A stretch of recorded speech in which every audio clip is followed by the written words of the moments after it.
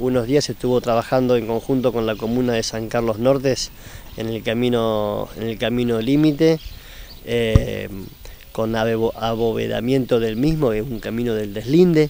Junto con, con Víctor Caballero estuvimos presentes en Vialidad Provincial, con, con Rafael de Pache, donde se peticionó ante la Autoridad de Vialidad Provincial la posibilidad de, de adquirir fresado ¿no? para para ese camino tan pero tan importante más que nada para la producción tambera de, de, la zona. ¿Qué fresado? Para la gente que no conocemos.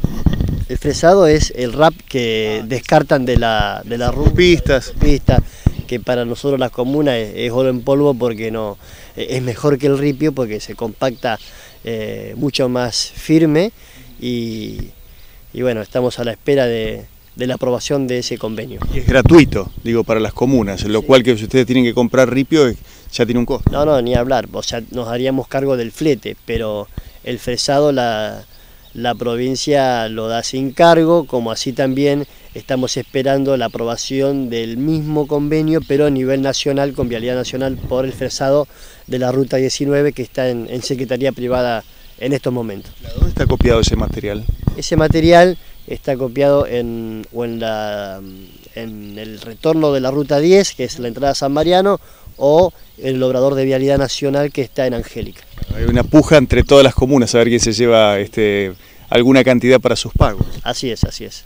Eh, ¿Esto es gratuito? ¿Ustedes se hacen cargo solamente del flete? Sí, eh, por momentos eh, la comuna de San Agustín firmó cuatro convenios con Vialidad Nacional, dos fueron con, cargo, eh, a 120 pesos la tonelada del fresado, y los otros dos fueron sin cargo a costa de la comuna del, flete. 120 pesos es un precio simbólico. Sí, sí, sí. Eh, Emiliano, cuénteme algo del Comité de Cuenca. Eh, ¿Están trabajando en estos momentos aquí en, en qué lugar? El Comité de Cuenca, bueno, está ejecutando la obra diseñada por el ingeniero Omar Loren, pedida desde hace muchísimo tiempo, eh, que es la del Bajo Gautero, ¿no? donde un canal que va a ir por los bajos naturales, donde va a, poder este, mm, desembocar el agua eh, una vez que se produzcan las grandes lluvias y por ahí va a evitar el anegamiento de los campos, el corte de camino, la idea es encauzarla bien en ese canalcito y que vaya por el bajo natural marcado, ayudado por la máquina del comité y no ya por canales que se, se desvían a propósito para evitar que ingresen por los campos y los bajos naturales.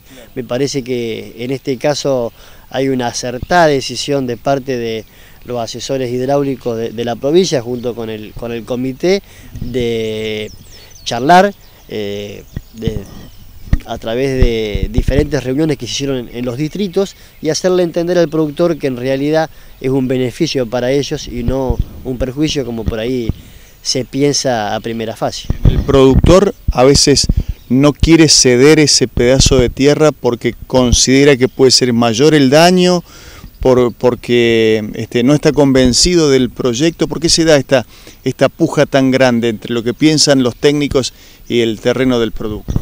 Sí, eh, yo creo que por eso, eh, fortaleciendo el diálogo, se pueden conseguir cosas muy importantes como estas. No sé si en su momento se le ha explicado bien los beneficios que, obtendría de esta manera y que tampoco resulta perjudicado, porque eh, está marcado en la zona donde se está ejecutando la obra ahora el canal no lo va a perjudicar para nada, el comité siempre está a disposición. Eh, ¿Pierde terreno el productor, digo, al hacer un canal de esta, de esta naturaleza? No, o sea, el agua va igual, solamente se va a ayudar para que se, se encauce en un canalcito que tampoco es de gran profundidad, sino que, que después el agua misma se encarga de hacer lo que tiene que hacer. ¿Es un canal que tiene cuánto? ¿Qué extensión aproximadamente? Y la extensión es eh, importante porque cruza viene del lado de San Carlos Norte para, para el distrito San Agustín que desemboca en el arroyo de los troncos, tendrá, yo no recuerdo bien ahora, pero calculo que unos dos kilómetros y medio tendrá. Y después se encausa en, en el arroyo de los troncos y mm, con, los badenes correspondientes, los pasovados, las alcantarillas, toda obra que está haciendo el comité. Vos fijate que si por ahí desviamos el canal por los caminos eh, laterales, se desmoronan los alambrados, caminos que se tienen que hacer, eh, canales que se tienen que hacer muy pero muy profundos para lograr una pendiente que después terminan seco, de hecho hay eh, evidencias ahí nomás a, la vuelta de la obra que se está ejecutando ahora y que no funcionan y nos perjudicamos todos, caminos mucho más angostos.